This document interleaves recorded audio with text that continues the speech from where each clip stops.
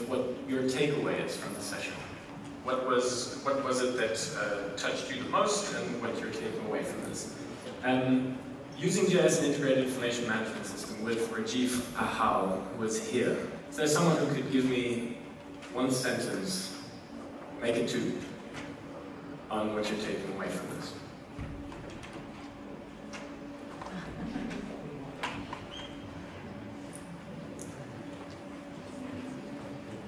Thank you.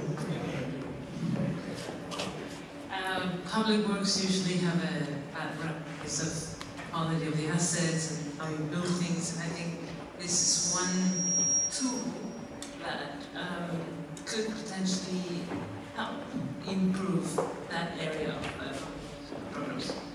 Thank you.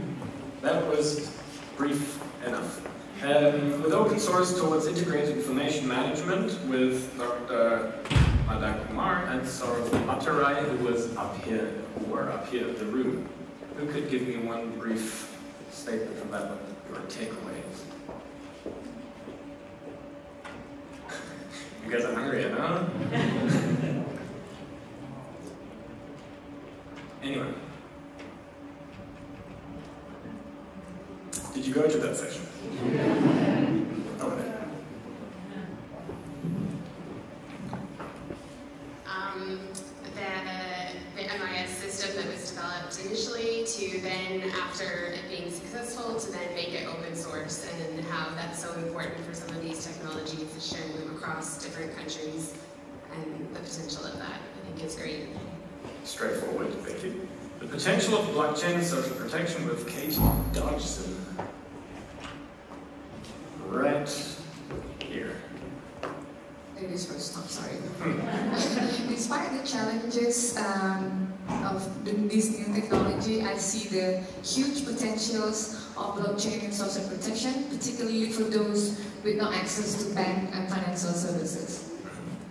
Thank you. And last but not least, linking machine learning with forecast-based financing, Pablo Suarez.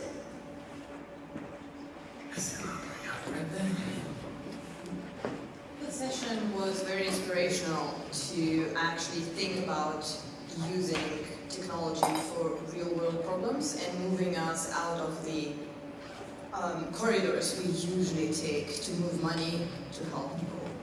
Great, thank you. All right. With that, uh, I think we can close this session number two. Um,